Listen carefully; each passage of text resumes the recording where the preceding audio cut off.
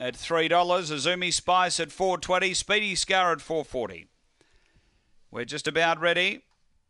And signal given. Best of luck, punters. The last here at Mount Gambier. They're set to race. On their way, Outlaw Eddie steps sweetly. He's going to go through with a clear lead, and a few of the others back in some bother. Outlaw Eddie away by three. Ramified doing the chasing.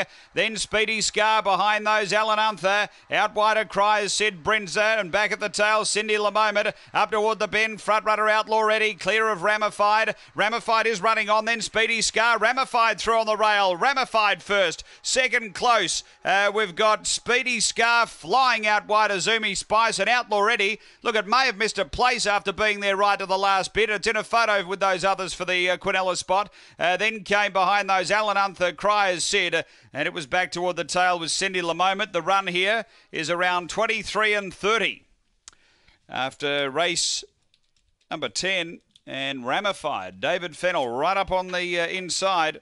Had a couple of winners sneaking through there today. Uh, three Speedy Scar grabs second.